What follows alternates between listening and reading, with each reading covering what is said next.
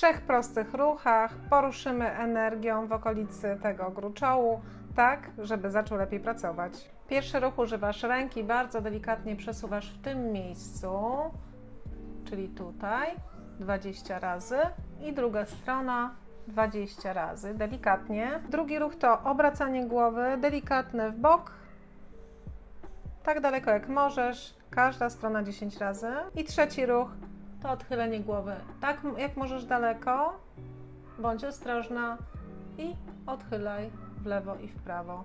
Ostrożnie, po 10 razy na każdą stronę. Pamiętaj też, żeby nie jeść konserw, cukru, białej mąki, mleka, produktów sojowych. Warto także unikać mocnego alkoholu, kofeiny i pikantnych przypraw. Rób to proste ćwiczenie dwa razy dziennie przez około 14 dni. Wyślij swoim koleżankom, kolegom i obserwuj mnie po więcej takich rad. Właśnie przeczytaj opis pod tą rolką.